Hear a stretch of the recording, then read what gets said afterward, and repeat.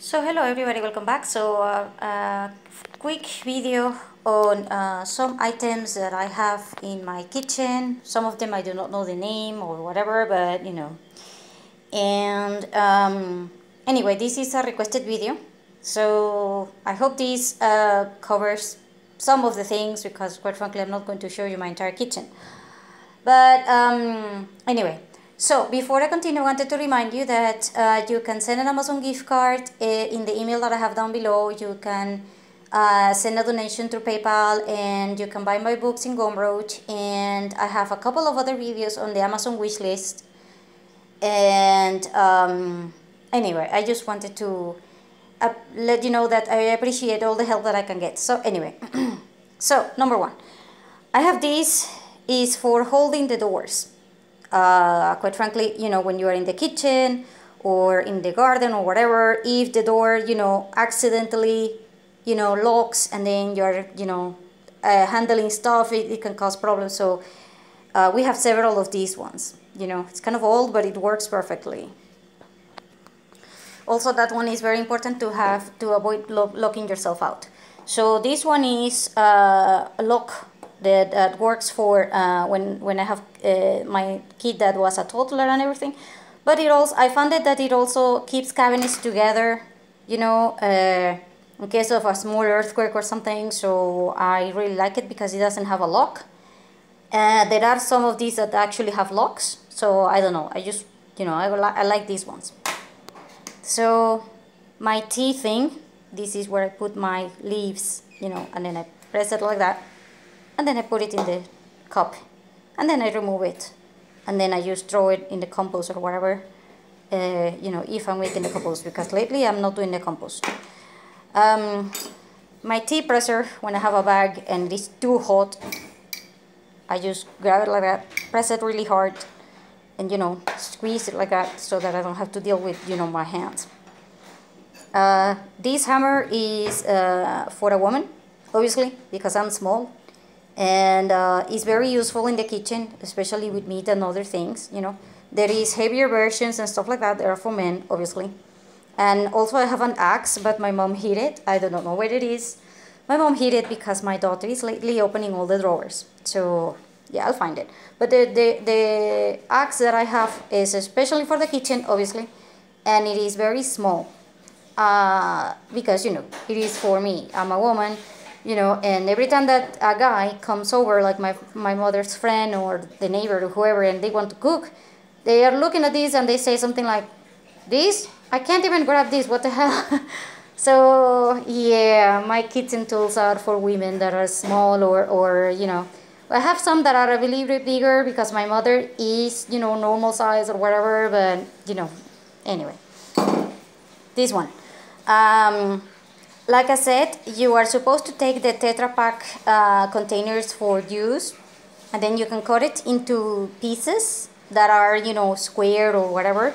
And then you can put it into lines and this is for fire. Every time that I have to put fire from one place to the other one, uh, the, the napkins will, will burn too fast and they will not melt, you know, they will not uh, burn the way that I want them to be or whatever and this one won't melt and it, it, you know it can put fire and I can take a time and it's, it's better to do this you know. So I cut it in several pieces.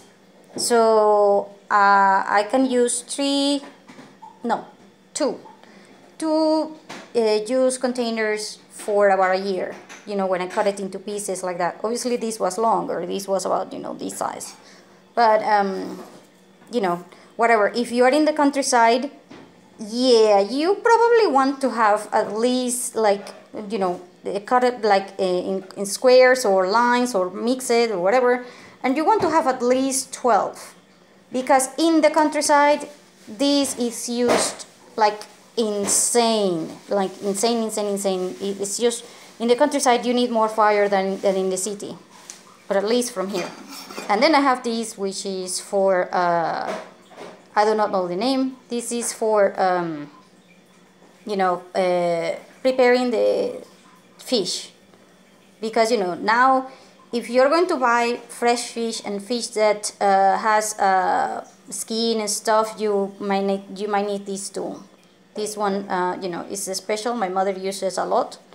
uh, when we because now if you if you're used to buying everything in cans and stuff and now you can't afford it and now you need to prepare everything by yourself you need to cut everything by scratch and you need to do everything by scratch yeah you need you will need a hell of a lot of tools. And uh, then I have this which is the things that we I use for um, holding things that are hot. If you are using a regular cloth yeah that thing is going to burn you the same. And that thing can catch fire. This one uh, doesn't catch fire as easy and it has this handle. So basically it has two handles and then I can put things in you know in here with both hands and it's good.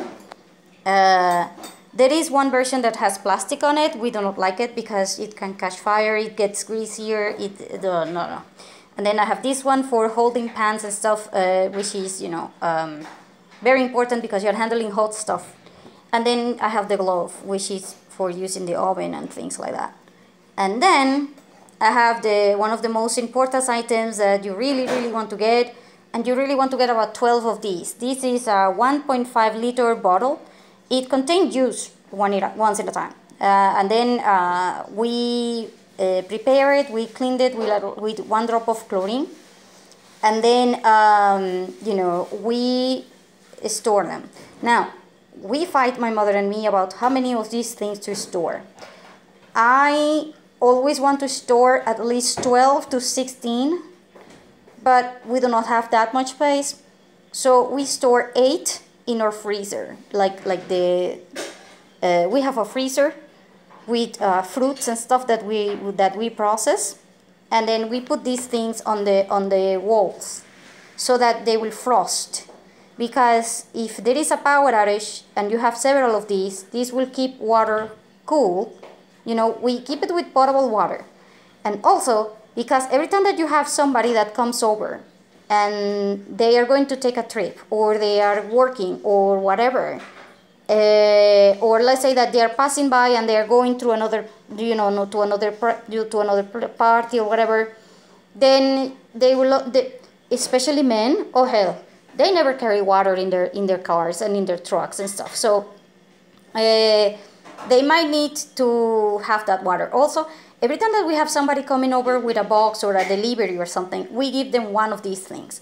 Uh, we also give these to the trash uh, services people, and uh, we also give them to uh, other people that are doing services to us, like the gardener or technicians or whatever.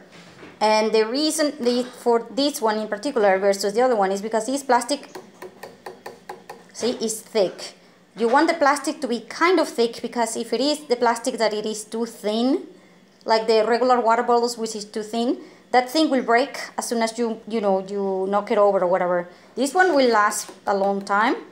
And like I said, you have to be willing to part with them. And um, this one also will act as an ice. If you keep them frozen, this one will act as an ice uh, for when you are traveling and when you are uh, using it for an ice chest.